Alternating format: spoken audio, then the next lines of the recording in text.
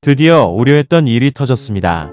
늘 그렇듯이 중국이 저가 공세에 우리나라가 늘 당해야 하는 분위기입니다.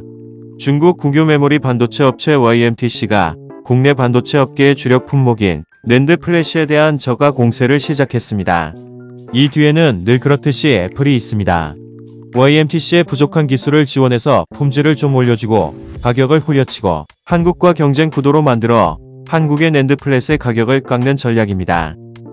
YMTC가 시장 점유율을 높이기 위해 노트북 제조사를 상대로 저가 전략을 펼치면서 재고가 쌓여 값이 떨어지고 있는 낸드 플래시 가격 하락에 기름을 부었다는 것입니다. 트렌드포스는 YMTC가 올해 하반기 더 많은 노트북 제조사에 저가형 소비자용 SSD를 납품하기 위한 협상을 진행하면서 전체 소비자용 SSD 가격을 더 떨어뜨리고 있다고 합니다. 현재 전 세계 낸드 플래시 시장에서 YMTC의 영향력은 크지 않으나 올해 1분기 YMTC의 점유율은 3%에 불과합니다. YMTC의 낸드 플래시를 사용하는 고객사는 대부분 중국 업체로 한정되며 중국에서 만든 낸드 플래시를 중국 세트 업체들이 사들여 중국 소비자에게 판매하는 구조로 해외 판매는 되지 않으나 중국 자국 내에서의 가격 positioning이 저가를 리드하고 있습니다. 문제는 애플은 늘 그렇듯이 한국의 제품 가격을 깎는 방법으로 중국 업체를 끼워넣는데 지난 5월 128단 SSD단 낸드 플래시를 아이폰에 사용하기로 결정하면서 YMTC 낸드 플래시에 대한 세트 업체들의 태도가 달라지기 시작했습니다.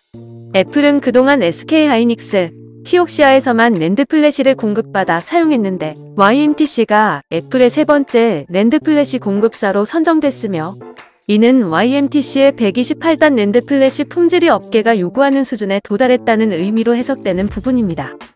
YMTC는 저가 공세와 함께 첨단 기술 개발에도 집중하고 있습니다. YMTC는 최근 4세대 3차원 232단 낸드 플래시 메모리 반도체를 개발하는데 성공한 것으로 알려졌으며 미국과의 반도체 산업 패권 경쟁이 고조되자 중국을 대표하는 YMTC가 200단 이상 낸드 플래시 개발로 앞서가는 모습으로 YMTC가 중국 정부가 소유한 국유 반도체 업체인 만큼 기술 수준을 무시해서는 안 된다는 신중론이 있습니다. 2016년 설립된 YMTC가 2018년 64단, 2020년 128단 낸드 플래시 양산에 성공하면서 반도체 패권 경쟁에 나선 중국 정부의 전폭적인 지원이 예상되기 때문이며 YMTC에 대한 미국 정부의 고강도 제재는 변수입니다.